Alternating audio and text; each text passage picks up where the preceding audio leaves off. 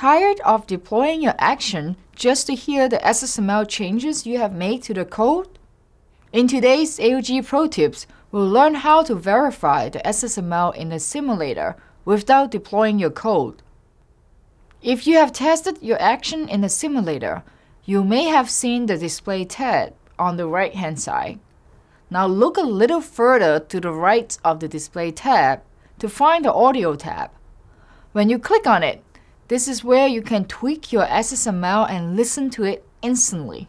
You can use this as your own SSML playground to experiment and get your audio sounding right.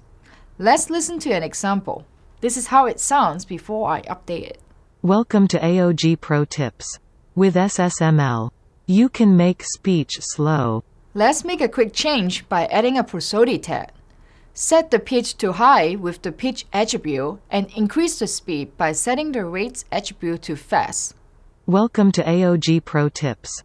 With SSML, you can make it high. You can make speech fast. Now that sounds better.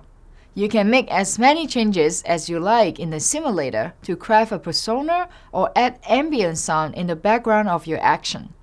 You can also download an MP3 version of the TTS by clicking the More Options icon next to the speaker. Begin building interactive Canvas actions today by using the project creation link in the description below. For more pro tips like this, be sure to check out the rest of our videos and share your thoughts with us on Twitter using the hashtag AOGProTips. Thanks for watching.